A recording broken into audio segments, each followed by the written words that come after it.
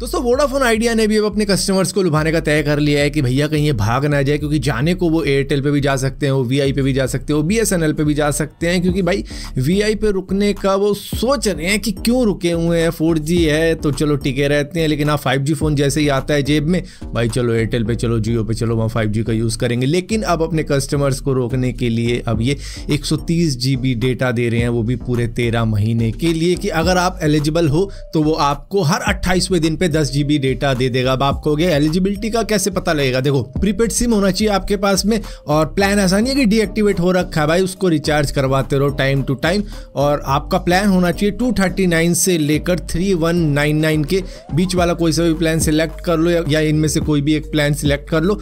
उनमें से हर प्लान को बस आपको मंथली रिचार्ज करवाते रहना होगा और हर अट्ठाईसवें दिन पे आपको ये दस जीबी का डेटा दे देंगे एक्स्ट्रा और ये ऐसा तेरह महीनों तक करते रहेंगे। लेकिन यहाँ पर बस आप कर्नाटका, आंध्र प्रदेश, मध्य प्रदेश, आसाम, नॉर्थ ईस्ट, उड़ीसा से नहीं होने चाहिए क्योंकि वहाँ पर ये ऑफ़र अभी अवेलेबल नहीं हो रखा है। बाकी के स्टेट में अवेलेबल कर रखा है। तो अगर आप एलिजिबल हो तो आप इन नंबर को डायल करके अपना प्लान एक्टिवेट करवा सकते हो।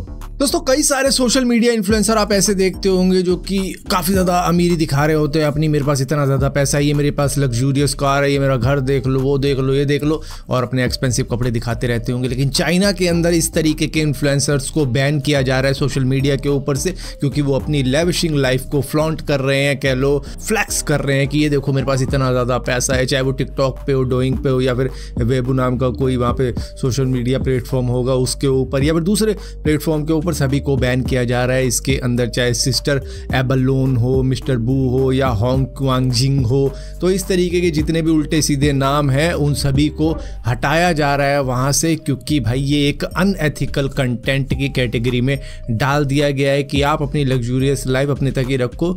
आम पब्लिक में मत दिखाओ कि आप इतने लेविशिंग लाइफ जी रहे हो। ऊपर से आप अपने माइनर किड्स को भी दिखा रहे हो, नोटों की गड्डी लेके, महँगे महँगे फ़ोन लेके या गोल्ड लेके। इस तरीके की चीज़ें जो भी आप फ्लॉन्ट कर रहे हो, वो काफ़ी ज़्यादा अनएथिकल है बाकी जनताओं के लिए। तो इस वजह से ही शायद स्कूल में या फिर कई ऑफ़िस में या फिर जगह जगह पर एक ड्रेस होती है सेट ताकि कोई ऊँचा नीचा ना लगे, जो हमारे को बचपन में सिखाई जाती थी कि भैया ऊंच नीच नहीं होनी चाहिए तो सभी सेम होने चाहिए। तो यहाँ पर ये सारी चीज़ें होने की वजह से भाई उनको हटाया जा रहा है कि निकलो, तुम्हारी कोई ज़रूरत नहीं है सोशल मीडिया को। क्योंकि अगर तुम्हारे पास पैसे हैं तो है।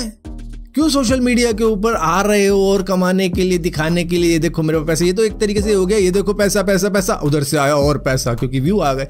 और देखो मेरे पैसा पैसा पैसा उधर से आया और ज़्यादा पैसा। उन्होंने कहा, तू अपना पैसा अपने पास रख। ये पैसे से पैसे बनाने वाली स्कीम चाइना में नहीं चलती है। इसको किसी बिज़नेस में लगा।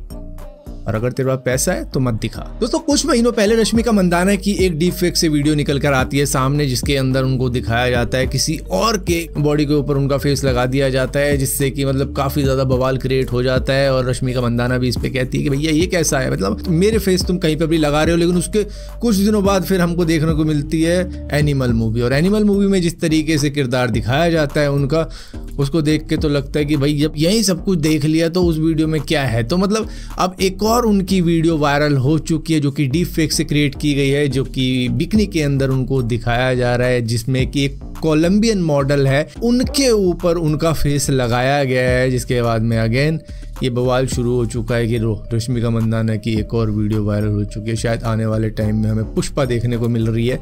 इस वजह से भी ये थोड़ी बहुत हाइप चलती है। क्योंकि डिफेक्ट की वीडियो देखो, हर एक्टर की आजकल बन ही रही है। दोस्तों, ये जो महिला आप देख रहे हो, ऑस्ट्रेलिया की रहने वाली उनतीस साल की एम्बर लूक है, जिनको ड्रैगन गर्ल भी कहा जाता है। इनकी बॉडी पे 98 परसेंट टैटू ही टैटू है हर जगह, और इन्होंने अपनी पूरी बॉडी कवर कर ली और बच रहे थे सिर्फ़ आई बॉल्स उसके लिए भी इन्होंने डिसाइड किया था कि मैं अपनी आई बॉल के ऊपर टैटू करवाऊँगी, लेकिन उस टैटू के चक्कर में इनकी आँखों की रोशनी ही चली गई, और पूरे तीन हफ्तों बाद जब इनकी रोशनी आई, इन्होंने कहा, भाई, अब मैं कसम खाती हूँ, अब मैं इस तरीके की चीज़ें बिल्कुल भी नहीं करूँगी।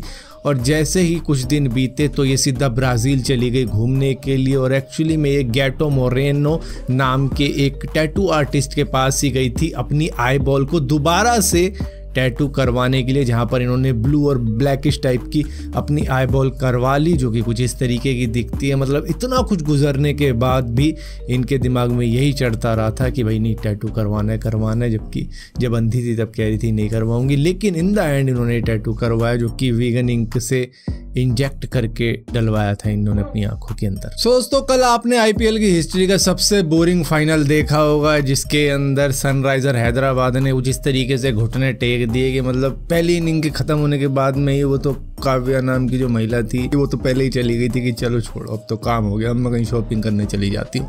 तो यहाँ पर अब लोग सोच रहे होंगे कि भैया कितना पैसा मिला होगा शाहरुख खान की टीम को तो भैया उनको मिले हैं बीस करोड़ रुपए जीतने के। सनराइजर हैदराबाद को मिले हैं साढ़े बारह करोड़ रुपए हारने के हारने के मतलब कि सेकंड रनर अप आने के। और ऊपर से राजस्थान रॉयल्स को मिले हैं सात करोड़ रुपए तीसरे नंबर पर आने पे और चौथे नंबर पर आरसीबी आई है तो उनको भी भैया साढ़े छह करोड़ रुपए दे दिए कि लेके खुश हो जाओ। कितने कम मिले तुम्हें? सिर्फ़ साढ़े तेरह करोड़ रुपए ही तो कम मिले खुश रहो इसी में।